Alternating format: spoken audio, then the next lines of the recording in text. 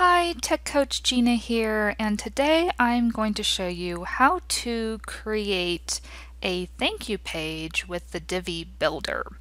Now, Divi is a premium WordPress theme, so if you have a website that's not WordPress, this really isn't for you. But if you do have WordPress and you like the layouts that Divi has, this is a popular theme and you can pay yearly or there's a lifetime access, which I think I got. So if you're wanting to check out Divi, I believe there's a sale going on. techdoneforyou.com forward slash Divi is my affiliate link. And there's a countdown timer. So right now it's time sensitive. You have eight more days roughly to take advantage of this Cyber Monday extended discount.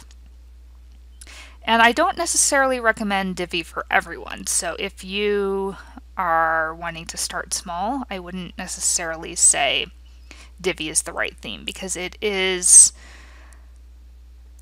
it is a very complex theme and so it does take time to learn it. So you can, if you're not sure if you're going to keep it, you can always start at the $67 a year level, or if you're like me and you know that you'll eventually be using it for quite some time, then there's a lifetime access. So these are the sale prices, and once the sale expires, it'll go back to regular price. So I have a opt-in page, an opt-in page right here. So an opt-in page is basically a page where your site visitor will land on your website and put in their name and email address and usually opt in to be on your list and then you will receive a notice. So depending on if there's a double opt-in or not, they may have to confirm again whether they need to be on your list or you could take them right to a thank you page. So right now I have this opt-in page and it's for a freebie that I just recently drafted and I haven't yet made a thank you page for it. And so what I like to do here is duplicate this page. So I use the Divi Builder to create this and I want to make the thank you page look very similar. And so I'm just going to go in, let's go to the WordPress dashboard. You'll need to be logged in as an admin or at least an editor or higher to make these pages. So I'm just going to go to pages. I have a lot of pages on my WordPress website, and so I'm just going to search for that page that I was at. Okay, so I just typed in real estate to make this simple. I hit search pages and I found this. So this is my opt-in page, or sometimes I call it a landing page. So what I'm going to do is just clone the page. Now, if you don't see this, you might need to get a plugin called duplicate post or something like that, but I have this option here available, so I'm just going to hit clone page and that will make an exact copy of the layout that I was using. Now I had customized that layout, so this is not going to look like any other Divi layout because I made it very, very simple.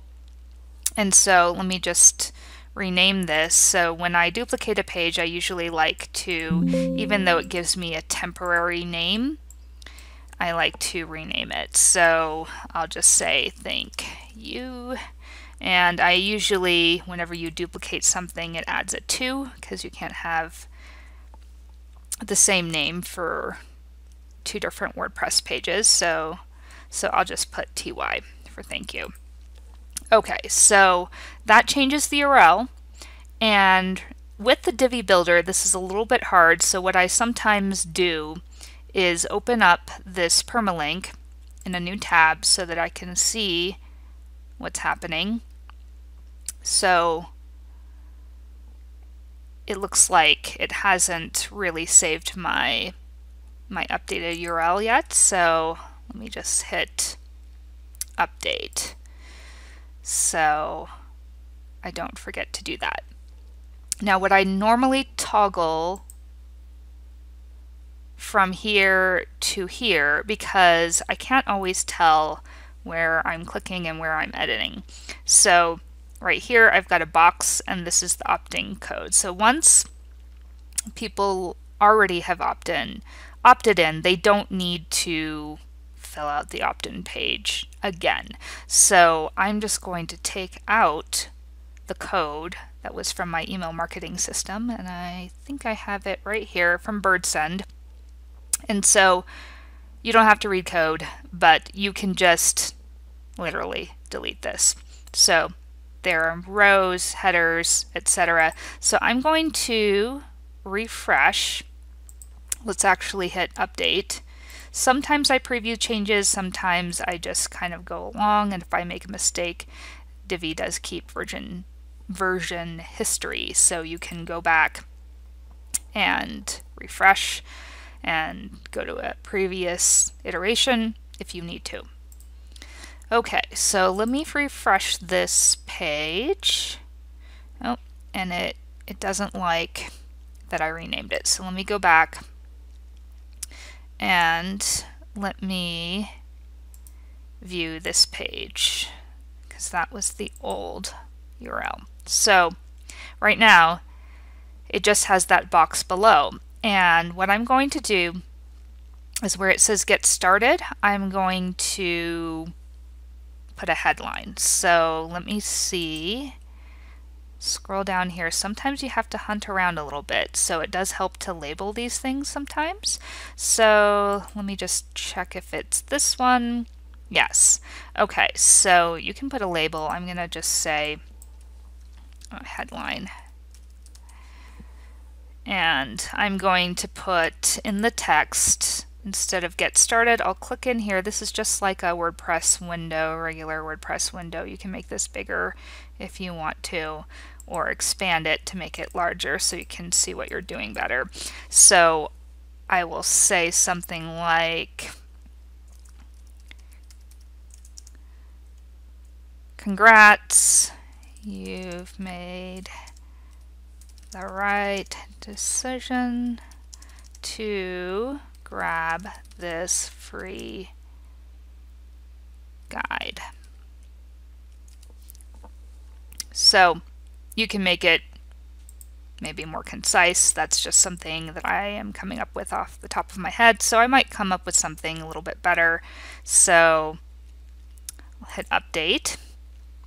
And then for the button, I don't want it to say get started now. I'll probably have it say something like download. So it does take a while for this to refresh sometimes depending on if you've got a lot of large pictures that haven't been compressed on your site or sometimes if your internet is slow it takes it takes me a while to get this going so instead of get started now I'm going to put download now and button is fine for the label so I have that, and then the middle text, maybe I don't want to say this, maybe I want to say something about the freebie. So if you haven't already, please download your six essential tech tips for real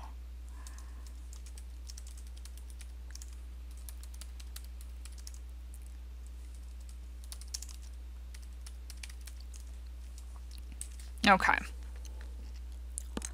Or maybe I'll just say, I'll get right to the point. So admin label, um, text is fine. And so I'm just going to hit update.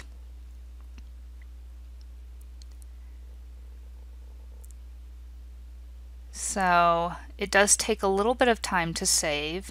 And so once it's saved, I'll go over here and I'll refresh this page. And so congrats, you've made the right decision to grab this free guide. And maybe I'll make this a little bit more concise. Maybe I'll just say you're all set or something like that. I think that's what some of my lead page thank you pages say. So before I do that, let me make sure that I have the PDF linked. So I have the PDF already uploaded to my media library. So maybe I'll open that in another tab. And so with WordPress, you've got a media library. So I'm going to open this up in a new tab. And I'm just going to search real estate because I think I updated this more than once. So the first iteration here, second one I think is here. So I think it's more for real estate investors than just real estate, well, marketers. So let's copy this to the clip clipboard and I'm just going to put it in the button link. So what I'll do is hop back over to this page. Here's the button we're going to hit the gear icon to edit the module settings. So we edited just the text, but we can edit the link now. And so this was something else previously, so I'm just going to paste right in the updated PDF link. And you can change what you have labeled on the back end if you want to. So I'm going to refresh again and, and see what this looks like now. Okay, so now I have the download button and it will open up in a new tab. People can download this. I have some instructions about this freebie. I have the headline, which maybe I'm going to shorten. So this looks like it's almost there. Let me go back to the Divi Builder. Sometimes this takes a lot of patience to go back and forth, so sometimes I use the Visual Builder instead, but there's kind of a learning curve to that as well. So I'm just going to go back to the headline right here, and I'm just going to say all set. And then hit OK. So depending on your double opt-in settings, you might want to say something on the thank you page such as check your email to get your PDF or something like that. So it will depend on your settings. But for now, I have this simplified thank you page and you can see the URL is updated. And so what I'll do is go back into my email marketing system, BirdSend, and then put this thank you page in my settings of my opt-in form so that people will go directly to this thank you page and they can get the download. If you enjoyed this video, please like, sub subscribe, and hit the bell notification so that you don't miss the next video. And don't forget that there is this Cyber Monday sale. I'll put my affiliate link in the description of this video. Have a great day.